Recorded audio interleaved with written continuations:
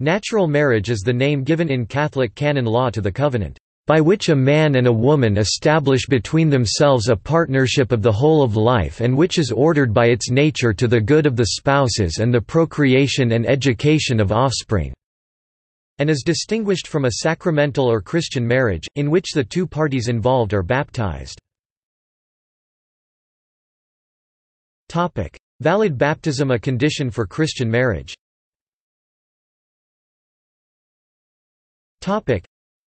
Since only the baptized can receive the other sacraments, the marriage of someone who has accepted Christian beliefs but has not been baptized is non-sacramental. Similarly, the marriage of a person whose baptism the Catholic Church judges to be invalid is a non-sacramental natural marriage.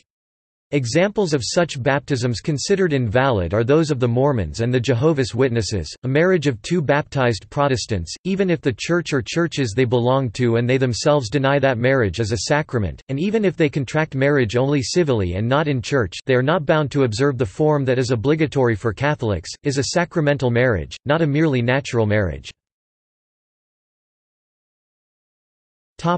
Transformation into sacramental marriage.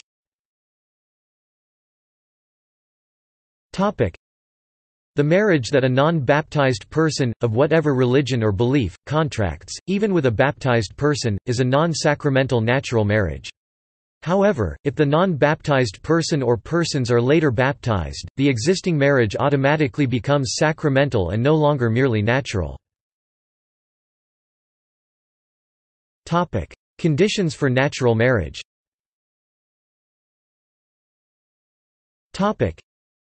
If a Catholic marries a non-Catholic, the marriage is subject to Catholic canon law on impediments to marriage. If no Catholic is involved, the only impediments that apply are those affecting the very definition of marriage such as if consent, diversity of sex, ability to consummate the marriage are lacking, or in the presence of an already existing marriage bond and those that are considered part of natural law such as a father-daughter relationship, any marriage that is non-monogamous polygamy, non-heterosexual same-sex marriage, or involves males under 16 years old, females under 14 years old see marriageable age or non-humans is an invalid valid marriage according to natural law. Natural marriage and divorce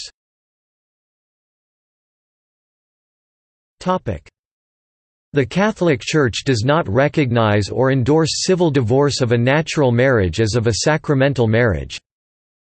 However, a natural marriage, even if consummated, can be dissolved by the Church when to do so favors the maintenance of the faith on the part of a Christian. Cases of what has been called Pauline privilege and Petrine privilege.